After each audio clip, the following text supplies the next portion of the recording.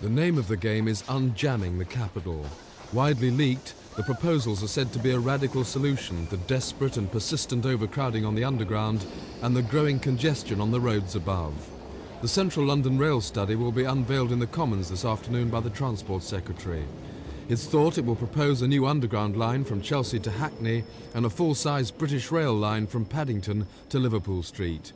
This will allow passengers on mainline trains to reach the heart of London without having to change to the tube.